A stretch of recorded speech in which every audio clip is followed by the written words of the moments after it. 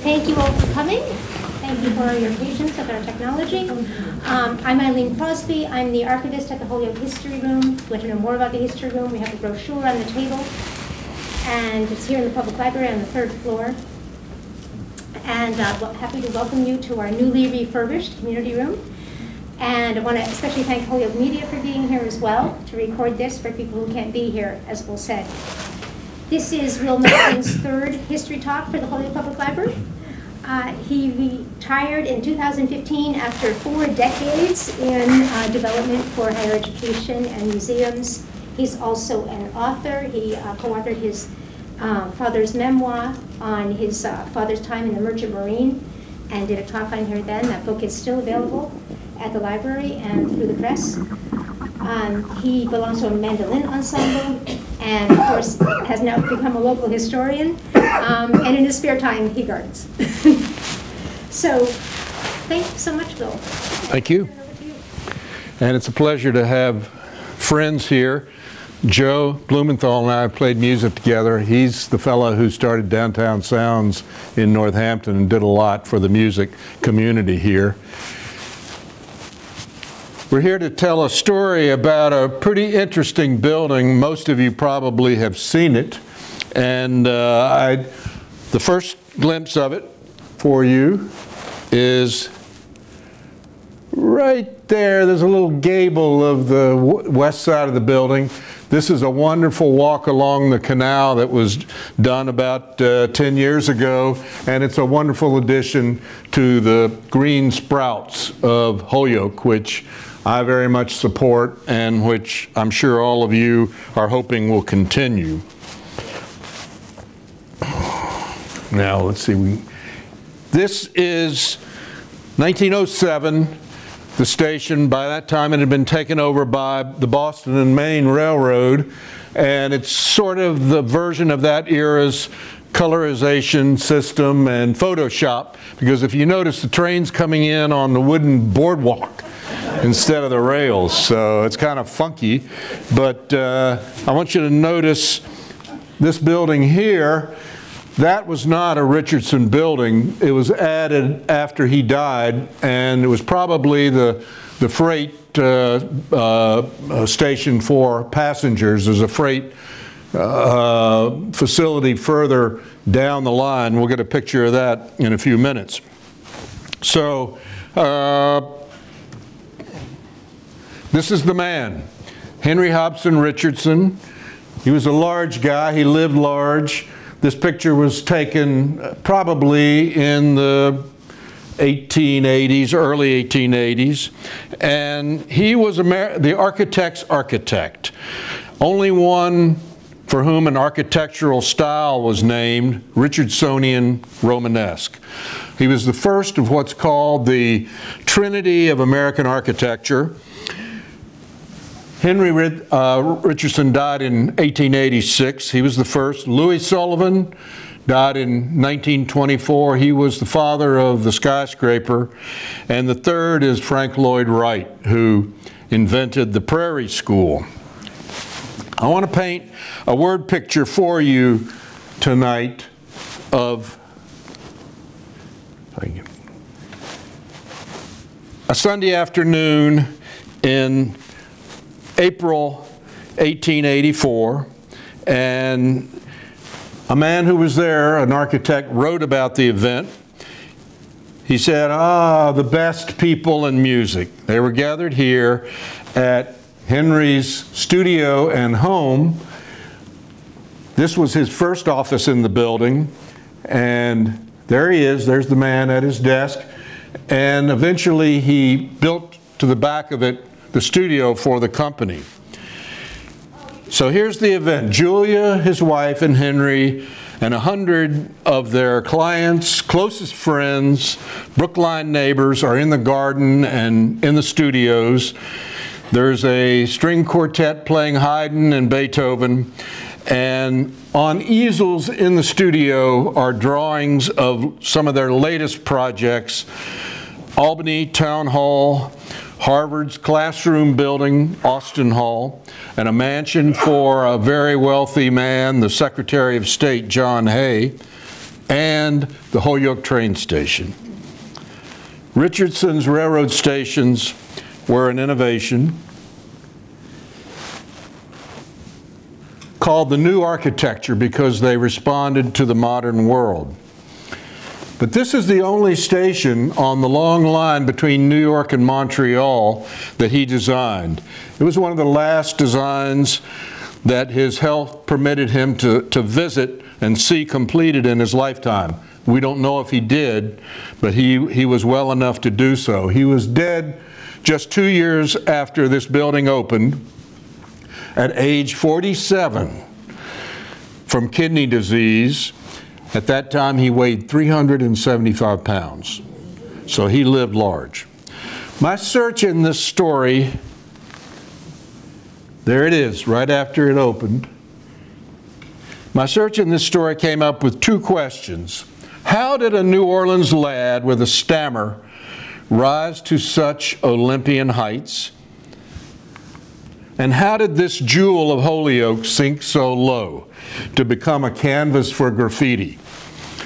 Its decline accelerated when passenger service to Holyoke was dropped in the early 1960s, and it became an automobile parts dealer and a machine shop. And this is what it looked like in 2019. You can see it was a mess. There it is from the south. And there's the platform by, by the train line. There were lots of ideas to how to bring it back. Many thought it was a goner, but there was an occasional lofty scheme like this landscape architecture master's thesis by Nancy Howard of, of Holyoke. But none, they all came to naught. Until the hero of our story, Dave White, who's with us tonight. I'm happy to say, and he can take some questions if you have any. And I asked him how he got into it. He said, I just got tired of hearing people say somebody should fix it before it falls down. And so he bought it. That was about four years ago. He's a businessman here in the town who stepped in to save the station, helping the revival of Holyoke. He did it without any government grants, no demanding investors, and too little municipal backing, in my opinion. So here's a then and now series. There it was, 2019. That's what it looks like today. Here it is, and today. And there it is from the south end. And there's the platform. That's been repaired and restored. I agree. Dave?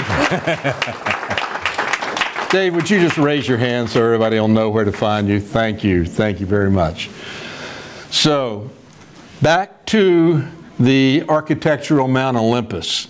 This is Henry Hobson Richardson about 1860, and, and this is not a rags to riches story. He was born on the Mississippi River in a sugar plantation that his grandfather owned here on the left.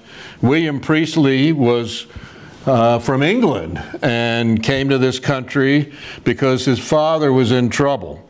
His father was the most famous chemist of his age, Joseph Priestley. He discovered oxygen. He published 140 books. He invented the, er, the pencil eraser that we all use. But he was nearly hanged by a mob that was shouting he was a religious heretic and a traitor for supporting the ideals of the French Revolution. Young Henry grew up the son of a New Orleans cotton merchant. His father's friend, the Senator Judah Benjamin, offered Henry an appointment to West Point, but he was rejected. One biography, biographer of Henry claims it was due to his minor speech impediment and that Henry never really got over the insult and humiliation. So he settled for Harvard. There he had indifferent grades. He was more of a party boy than a scholar, slender and handsome. He was nicknamed Nothing to Wear because of his lavish wardrobe. But 100 miles west of Cambridge, those years saw major changes out here. 1857, Holyoke had begun to be transformed from a sleepy farmer's village into the largest planned industrial city of its time. The region's first railroad crossed from Chicopee to fuel the canal venture that was promised by a dam at Hadley Falls. This is the train line crossing from Chicopee and passing out on the west side of the river. Over here you see 1881 and it's, it's all happened. All of this has been built as a result of that dam and the, and the railroad coming through. But there were plenty of ambitious business ventures that failed getting to this point, many ending in financial collapse. And high-flying investment schemes were not the only collapse because Holyoke's giant water prize venture, water power venture, a log dam across the river, failed on the first day that it opened. Still, the hunger for water power was a very powerful magnet for business ventures and investors in New England's version of the Industrial Revolution. A second dam was promptly started and it proved it could hold back the mighty Connecticut River. Holyoke became a major manufacturing center for wire and textiles and paper, machinery, turbine, innovation, screws, and the wonder of its age really in western Massachusetts. Pulling many, many strings of this industrial drama was this man on the right, Chester Chapin. He's the guy who made the North-South Railroad happen in, along the valley. He's probably the most famous tycoon you've never heard of. After his father died, the boy had to find work and he learned to sell strong drink and cheap cigars at the South Hadley Holyoke Ferry. After losing interest in the life of the merchant, he became da a dashing stagecoach driver that must have attracted the interest of his cousin, Dorcas Chapin. Now, she was lived with her family over a tavern in Chicopee, which her dad operated along with a profitable cattle business. Here's the tavern, and uh, here's his the Springfield stage. Over there on the far wall, uh, on the fall picture, is the tavern sign, which still survives. An antique down, dealer down in Connecticut still has it. He paid $100,000 for it. And so Ch Chester, he rode the wave of the revolution. After he married Dorcas, who grew up in this building, and with her family to lean on financially, his natural business sense began his rise to become the richest man in Springfield. Now, there's, there's no picture of Dorcas. I've looked everywhere, and there are other important women in this story. But it's kind of a shame that so many unsung women uh, from those times are largely invisible to history. But Chester's forgotten too. Uh, and he's the guy who made Henry Richardson a giant in architecture. As much as Henry became a giant, Chester was a giant in his own field, and their lives intersected. He bought a share of the east-west stagecoach line first, and then got the Springfield to Brattleboro mail contract, then traded them all in on a steamboat, which you can see over here, that plied the, the Connecticut River. It had the, the wheel in the rear because the passageway through the, the rocks was difficult at Enfield Falls. And he eventually cornered the market for the Hartford to Springfield steamboat trade. Like so many of Richardson's architectural treasures, this tavern is no more. It vanished in the 1920s, was torn down, And uh, it was a wonderful building. There's an old junky uh, radio station building in its place. It's on Chicopee Street, the oldest part of Chicopee near the river. And this was Chester's line. The original business, major business, the Connecticut River Railroad. He combined different railroads and built uh, uh, the uh, Springfield Northampton part of the line, and it became a big success. As his wealth grew, his fellow steamboat entrepreneur, Commodore Vanderbilt, Cornelius Vanderbilt, wanted uh, Chester as a partner and an investor in the mushrooming railroad industry, and Chester was a natural. And he would go on to make Springfield uh, a hub of railroad New England. And the finest historian of the early years of railroading, a man named Edward Kirkland, wrote about Chester. He, he said, he was one of the great railroad capitalists of New England, indeed of the nation. He became a large investor in the New York, New Haven, and Hartford, the Connecticut River Road, the Boston and Albany. As for Vanderbilt's New York Central Railroad, he owned 3,400 shares and a seat on the board. He was called by one of his associates the hardest man I ever knew the model of presidential management, which means dictatorship. He determined the composition of the board of directors, assembled it at his pleasure whenever anything happened, and secured the succession to the throne. Well, with the 1825 opening of the Erie Canal, Boston's commercial route west was blocked by the Berkshire Hills and all of that traffic began to flow up the Hudson onto the Erie Canal. But Chester bulled his way out of the problem. It took years, but he formed the longest railroad in the world at the time. This line, which stretched from Boston to Albany. Another line would eventually be built, and I'll show you that in a minute. So not only did he assemble the first major north-south rail system along the Connecticut, he led in extending the, extending the original Boston and Worcester Railroad first to Springfield, and then in 1854 he gained control of the Western Railroad after it was completed from Albany to Springfield. He was a powerful man with a growing family, and he decided it was time to move to Springfield and he built this mansion there. No longer exists. And it was there that his daughter Anna was courted by a young Harvard lawyer, James Rumrill, who was the son of a fellow vestryman in Chester's Unitarian Church in Springfield, and that man was an influential Springfield manufacturer.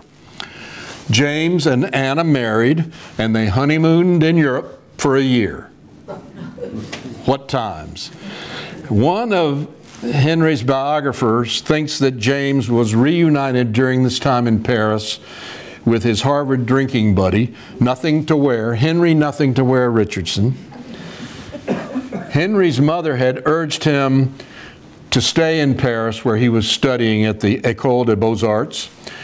She did not want him to return to Confederate Louisiana, but the family funds dried up so he was forced to work as an architectural draftsman to fund his studies at the school there. Their friendship, Richardson and Rumrill, which had started at Harvard in the Hasty Pudding Club, would go on to set the stage for the rest of Henry's life, and it appears that he would never again set foot in Louisiana. When the Civil War ended, Henry could return to America, but he really had nothing awaiting him but his sweetheart, Julia Hayden. Again, I can't find a picture of her either. But James Rumrill, he had plenty to return to. He was coming back to a law office job, and before long, he had joined Chester as attorney for Chester's newly acquired Western Railroad.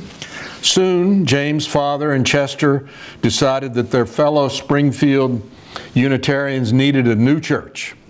And young James was there to suggest How about Henry? Give him a chance to compete for the commission. He'd never built a building. He'd never built a house. But the result was this stunning achievement, an amazing structure for a first-time architect. It's monumental, inside and out. There's the inside of this church. Torn down in 1961 to build a parking lot. It was in pretty good shape, so it's a shame. Henry and Julia married, and with the help of her father, again, the woman's invisible hand, he designed a house for them financed by her parents on Staten Island, and he commuted into a New York architecture firm that he started with a partner. And uh, it was there in Staten Island that he had a new neighbor, Frederick Law Olmsted. And that was the beginning of another beautiful friendship. So he hung out a shingle, and by the following year had another Springfield commission, this building, for the headquarters of Chester's newly formed Boston and Albany Railroad. Now, Springfield, lying at the midway point between Boston and Albany, put it in the catbird seat where the Connecticut Road crossed. And it eventually uh, became a major rail center and did so much to spark the prosperity of the Connecticut Valley for the next half century. Just to show you, here's two pictures of the same building. On the left, you can see there's a sign saying, saying uh, look out for the engine while the bell rings. there was a problem with Main Street in Springfield. And here's the, the train shed, the station at that time. This is the building the headquarters for the newly renamed Boston and, and Albany Railroad. And uh, I can't honestly can't say how this commission happened. It's also in Springfield, and this is one of only two buildings in Springfield of his that survived. This is the North Congregational Church. It's now owned by a Hispanic congregation. But it stands near Museum Square in Springfield and, and is a beautiful building. The interior was painted white for some reason. But there's no question how this next building came to be. It's the Bank of Agawam in Springfield. It was owned by Chester Chapin. And then, two years later, this fantastic Gothic Romanesque cathedral to the law the Hampden County Courthouse in Springfield was to come Henry's way, still an almost unknown American architect. I don't know much about this building's origins, but Chester was a powerful man in Springfield, and it's the only other building by Richardson that survives in the city. But by now, Henry was on his way, and probably without the help of either Chester or James, he got the commission for the most famous business building of his career, Trinity Church in Copley Square.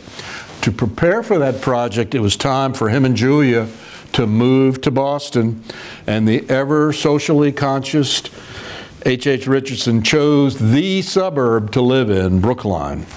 And there he would be neighbors with some of these people. The art doyen, Isabella Stewart Gardner, whose great museum stands on the Fenway, and her husband Jack. This man, Charles Sprague Sargent, and I'll talk about him in a minute. And there he moved into a house that was owned by his Harvard classmate, Edward Hooper. And Hooper was very well connected. He was the brother-in-law of the great writer Henry Adams, and he was the son. Uh, uh, I'm sorry. Uh, uh, he was. He would go on to be treasurer for 20 years of Harvard College, so he was well connected. And it was there in that house, right there, that Henry and Julia would live for the rest of his life, building onto the rear of it uh, the rest of the eight, uh, uh, studios where he and his team built the rest of the 80 buildings. I should mention that uh, some years later, Olmsted moved here as well to be near his friend Richardson.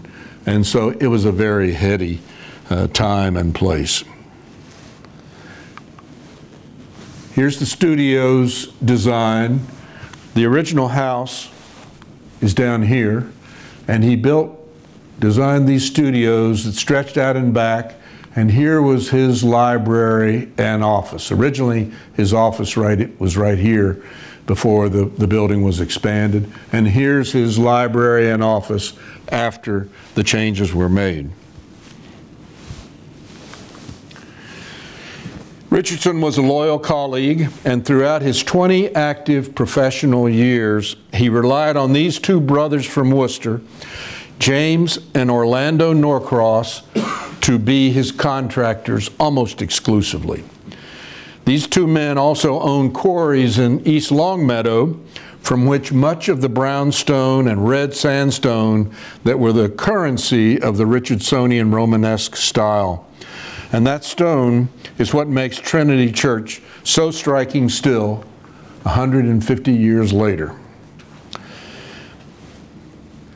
This is a drawing from the master's hand of a parish house that was built about 10 years later for, the, uh, for Trinity. Here you see the studios with his team at work.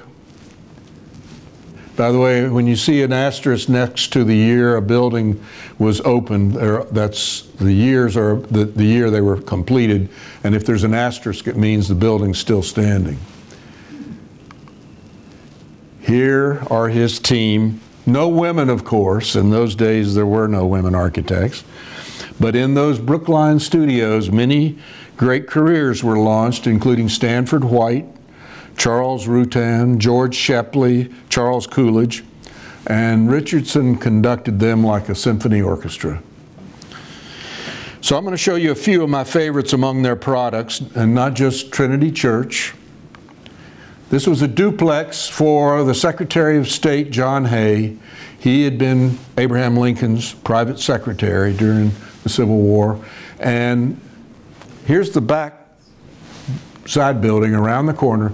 This, this building here is where uh, Henry Adams and Clover Adams were to live. She, uh, they, they were close friends with the Adams, and she killed herself before it opened. So he eventually moved on. Henry did. Never mentioned her in uh, his, his book about uh, uh, the life of Henry Adams. This is the Billings Library. Any UVM grads here? This is a wonderful library that he built. Still standing. Oops. These buildings both stand. This is the, on the left is Oakes Ames Memorial Hall in North Easton Massachusetts. On the right is Oliver Ames Free Library. They were two brothers who made shovels in North Easton Massachusetts, uh, which supplied the California 49ers for their gold digging, and they became immensely wealthy uh, from their shovels. And I added in here a picture of the two buildings to show how magnificently uh, they were sited and what a wonderful pair uh, they are. And North Easton has another treasure that's a favorite of mine. This is the train station for the Old Colony Railroad. Uh, it's not a line that Chester controlled, but a, a, station funded by the Ames family. And it has powerful hints of Japanese design that uh, inspired Frank Lloyd Wright. And I think it also inspired Dave White. Dave's grandparents retired to North Easton Massachusetts. So as a lad, he visited and must have been influenced by this architecture. And you can see down here, there are some other pictures through this of floor plans done by the firm, waiting room on either side, men's room, ladies' room, tickets booth in the lobby, and here's this carriageway. This is really actually the, the offside. The track was on the other side. Here's the triumvirate of what became known as the Railroad Beautiful Movement of the Boston and Albany Railroad. This came about in part because of enlightened Massachusetts corporate law. Surplus profits had to be plowed back into the business. Imagine that. So those tycoons that uh, would rather walk away with their stupendous profits uh, were forced to put it back into their companies. I'm sure they found lots of loopholes, but Chester Chapin at this point in his age may have been slowing down, but I just have a feeling he saw a good business sense in making railroad stations beautiful, their grounds landscaped beautifully, and even the right-of-ways leading into the station were landscaped. And of course, the men who did this are here. It's James again, who was by this point uh, vice president of the Boston and Albany Railroad. Olmsted was hired to do the work with them, and Charles Sprague Sargent, here on the left, who came from great wealth. He was a director of the railroad, and these two men on the left were the construction committee who set this plan in motion. Now, Charles Sprague Sargent uh, was a cousin of John Singer Sargent, who many of you have heard of, a great American painter. But he was also, oops, he was also the son of a man named Ignatius Sargent, who was an incredible businessman of the 19th century. And um, Sargent Street is named for him. He was one of the original investors in the, in the development of the city of Holyoke. Charles, on the other hand, was not a businessman. He was a botanist, taught at Harvard, and he spent many trips out west looking for, for rare plants and trees, and he was the founder and the first president, and in fact the president for decades, of Arnold Arboretum, Harvard's wonderful park. So this man was an unbelievable uh, force in American horticulture. I'm going to show you the, the Boston and Albany stations. Uh, Richardson and his firm designed nine of them uh, in, in the time that remained in his life. And these are the stations that resulted from the collaboration of these three men. Uh, this is the first one built in Auburndale, and uh, it's many consider it to be one of the best. I tried to put in interiors whenever I could find them as you can see. And this, these, that picture was probably taken before it was demolished. Most of these have been demolished. Here's the, the floor plan. This is Chestnut Hill Station. But I, I like, I like the covered part of the station here to protect the passengers. That was really an important innovation that came about thanks to Richardson's designs. It's a pretty interesting building. Again, it's in Newton, no longer survives. This, this station does survive. I believe it's now a restaurant over in Palmer. And 1884, that's got a very interesting floor plan, as you can see, to make it fit onto the, the, the lot that they had there. And you can see the interior, and this is a, a real Richardsonian style train station. Here's South Framingham, another one that survives. This is a restaurant in that town, and I love the, the roof that you see here, these joists. It's a beautiful part of that, that structure, and this building's doing pretty well. These three stations were, uh, did not last, all, all in the Boston area, commuter stations. This is the more interesting one up here, Brighton Station. Uh, this is uh, Waban here and Eliot. This one still survives. It's storage for a golf course, Woodland Station in, in Newton. Wellesley Hills, another beauty, has some similar designs to the Holyoke Station. And the floor plan, again, is pretty simple. And then Richardson died. Uh, his partners offered to the family to carry on the work that he had begun. There were lots of commissions on their drawing tables, and they formed the firm Shepley, Rutan, Coolidge. The family agreed, and they continued to build stations for the Boston and Albany with James Rumrill as the major figure. And some 20 more were built. And you'll see them. There's one in Chatham, North New York, for example, others around New England. And they, they, many of them are in the, the style of, of Richardson. The one in Chatham, New York, in fact, is almost a copy of the Holyoke Station. He built two other, Richardson built two other train stations before his death. This one still stands in New London, Connecticut. It's an odd duck uh, with a beautiful interior.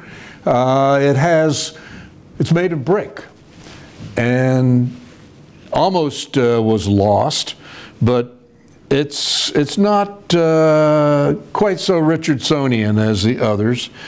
And it, um, it's kind of boxy, I think. Here's the other one that he built. This was on the north, north line, not the Boston and Albany. And this was built for Chester's first railroad, the Holyoke Station, the Connecticut River Railroad. It's really, it takes the Richardsonian model to its simple but elegant conclusion. Just a few sketches have been found. Uh, these are drawings of the gables and how they were going to treat the windows. This one actually ended up being done. Uh, so did this one, I think. Uh, and as you can see, there's a tower. And this was, I think, Richardson's own drawing the very beginning when he visited uh, the station. And that tower didn't survive cost cutting. But it did survive to the very last drawing before the decision. This is the presentation drawing, architects call it, when they come in to sell the client. And he made the sale, but it's, it's, it's really a pretty funny drawing. There's a kid with a, a hoop here, and ladies with big flowery hats and parasols and a, and a carriage over here. Uh, it's, it's a favorite of mine. I like it a lot. And here's the treasure. No pictures uh, exist I know of for the interior, but the, the plan of the floor does survive, and it's a fascinating story in itself. Here you have the, the waiting room for everybody. The ladies' room, men's toilet over here. The lobby, you come in through here from Bower Street. But here's totally separate no door between the two is the immigrant's room. Now, was this public health reasons? Was it bias against immigrants? Here's the baggage room. Again, no connection to the immigrants. They had their own toilets here. But one account said that the French Canadians would come down from Montreal and Quebec and they would camp in this room until they could find a tenement in Holyoke. That sounds like a, a reasonable story, but it does say a lot about Holyoke in those days. And the track side is back here. This is where the tracks run, and this ticket booth still, still exists. Now this is where the original train depot was in Holyoke. And we're looking east towards, towards the river. And this is about 1875. See these old, this, this Victorian house up on the ridge here? This is Depot Hill. A lot of it was cut away uh, by excavators. And you can see the wagons coming in. And here's that house at the top of the hill. And it was from the cupola of that house on Bower Street, this is about 1881, that this picture was taken looking back to the city. And it's a wonderful photo that Eileen found for me. And uh, there's City Hall. Here's Main Street. Most of this does not exist here. This building has been had its head cut off. There's still some of this building left. Here's the Perkins building which was a hotel later. And then, but up here at the top of the hill shows you what Holyoke was really all about in those days. And here's a drawing of that building, not done by Richardson, uh, but another uh, good architect. There were other architects at work in the city in those days. This was done by a man named Charles Sumner Luce, and uh, both these buildings are gone. This is the Opera House for Holyoke. This is, originally it was called the Whiting Building because he, he funded it, William Whiting, and uh, it was became the um, Windsor Hotel. Both were lost.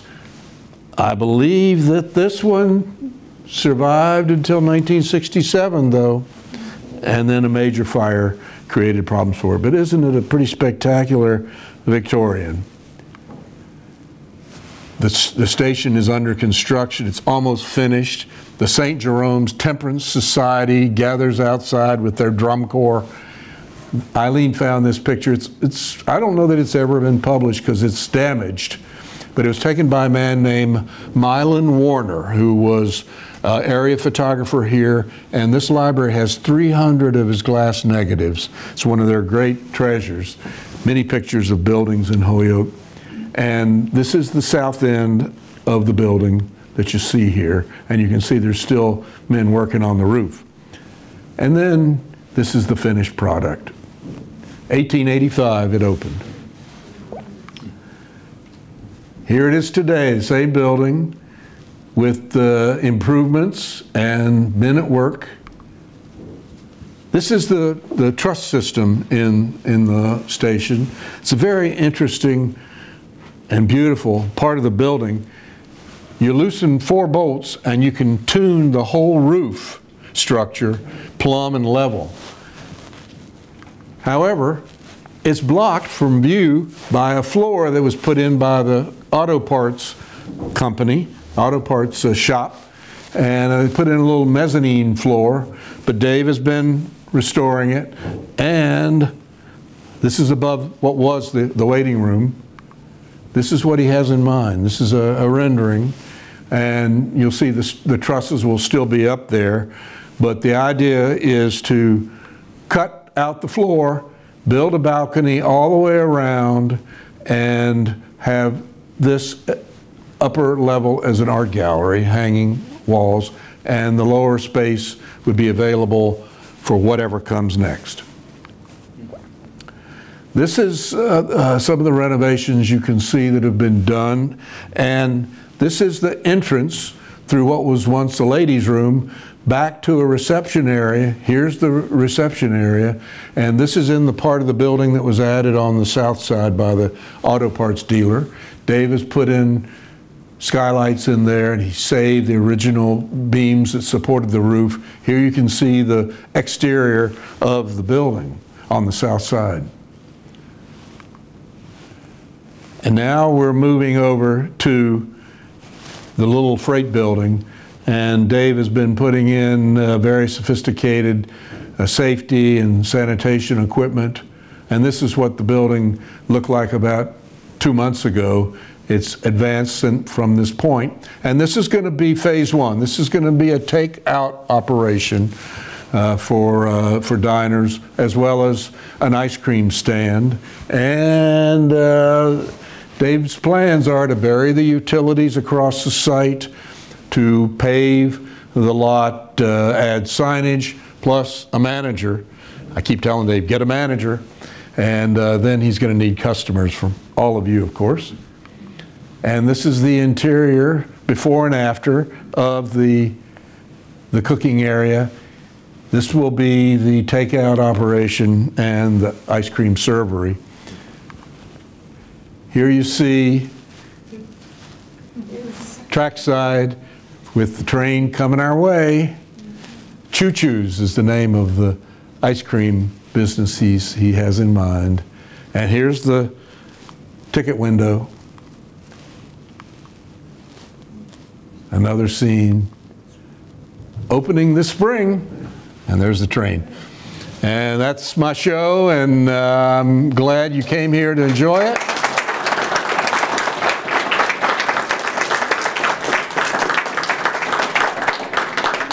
And I'm happy to take any questions. Uh, I'll refer any questions about the future in the station to my friend.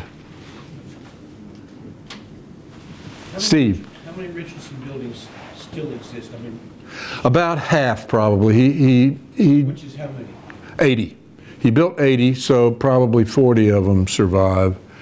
I know that, that other architects that we looked at in that Trinity built quite a few more, you know, in the hundreds, but he only worked for 20 years. Yes? No other buildings, he built no other buildings in Holyoke. Someone said that the church across the street is one of his buildings, and we'll have to find out more about that. Uh, There were lots of copyists, people who took his style, and of course, when he began his work, the Romanesque style, which was generated by old uh, buildings from the Romanesque period in southern France. He brought in elements of Japanese design as well. But we'll find out about, about that building's origins. Anything else? Other questions? Maybe someone here knows about the Presbyterian Church. Presbyterian Church in Holyoke? That the church, the church across the street is the Presbyterian Church. Yeah, that's what we were, that's what I was just mentioning. We'll, we'll look into it uh, to see if there's any uh, truth to that story. Did you have a question? Yeah, when train service to Holyoke was to be reestablished, rather than using this station, they put $3 million, as I recall, into, A platform. well, it's not even, it has an umbrella that is ineffective because it's so high above any Yep. any people and so forth, and I don't see anyone frankly using it or leaving their car over there overnight.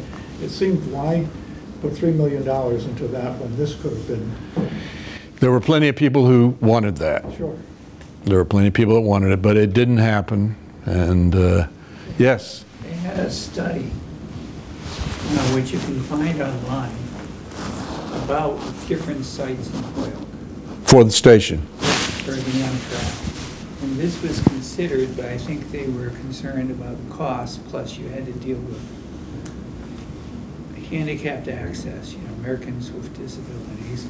You have to have the high-level platform, because if you look at that photograph, for, for someone to get on there without having to use a, a stool requires a considerable height change. And you have to have parking. The first three things out of the box that Yeah. any of the things Yeah. had to do with. And uh, I've read the study, you can download it online. Um, But I think they felt like this was going to chew up a lot of money and, and to try and resolve not only the problems with the building, but with the, with solving those three issues that have to be solved for every station.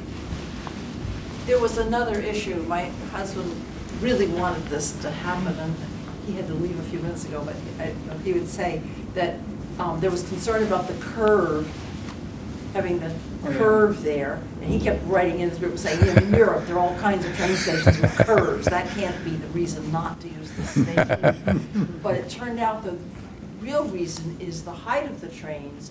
You would have had to take off that overhang you know, there, there was a height issue that would mess with this, I mean, that's just another complexity and cost for this one. Hmm. So we did realize that it had to be given up, but sadly. Did everyone hear, the, the, the study is online somewhere. We'll have to find it and, and connect it to the library. Interestingly, there was a fight back in 1883 about the site of this station. There were a number of people, powerful people, who wanted it to be built where the where Depot Square was, the original station, and the owners, the Boston Albany, wanted it built here. They wanted to separate their freight operation down at Depot Square from their passenger operation. And so this little building here is not the freight, was not, never the freight station for Holyoke. It was a freight station for the passengers. Yeah, my guess is that's for express. Railway Express. Right. Well, Railway Express was the, was the final name, but uh, passenger trains in those days had carried milk, they carried express. In fact, there would be whole trainloads of express because there was no UPS, no FedEx and so forth. If you wanted to have um, fish or, or, or seafood out here, it would come via the Boston, Albany, and then be, be, a car would be switched and end up going through here. That's how it got here. It didn't come by road because. The roads were terrible. Yeah, and, and also refrigeration. You gotta think about how you're gonna refrigerate. The original express cars had, um, they, they could use ice refrigeration because they're big. If you go in a rail car, it's a big structure. I told you we had some rail fans with us tonight. Other questions? Anything for Dave? Do you have a date yet, Dave? Well, ice cream store should be open in April, and we're looking for, uh, we have somebody, I think, that will run the art gallery, and I think we're gonna run the lounge, and we're looking for somebody to run the event space, uh, or a restaurant, uh, and lease the property out.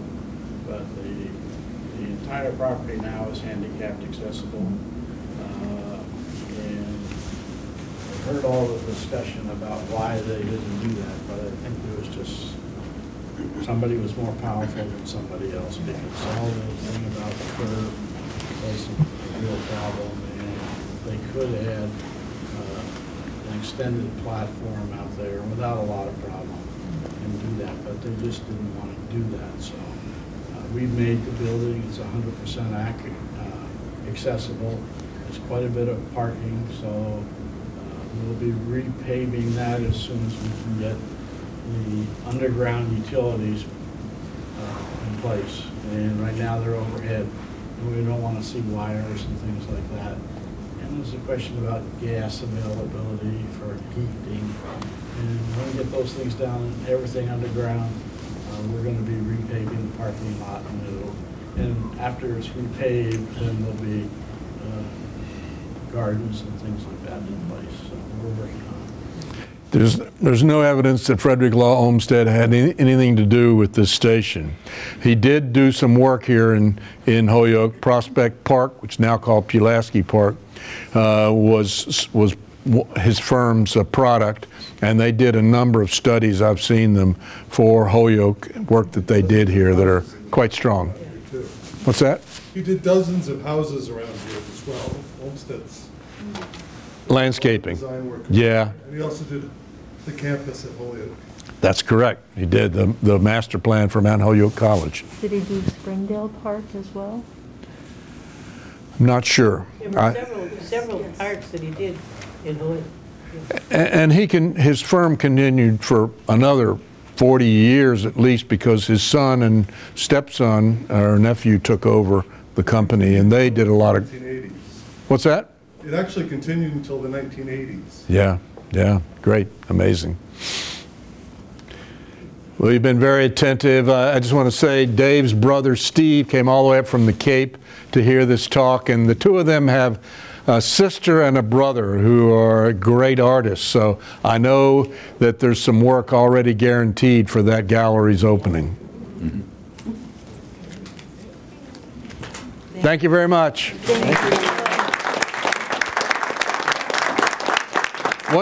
One last thing, uh, I, I'm giving this talk again at the South Hadley Public Library on April 16. If, there, if you have friends, train buffs that miss, couldn't come today, that event is April 16, Tuesday, April 16. It's an hour later. It starts at 6:30 at the South Hadley Public Library.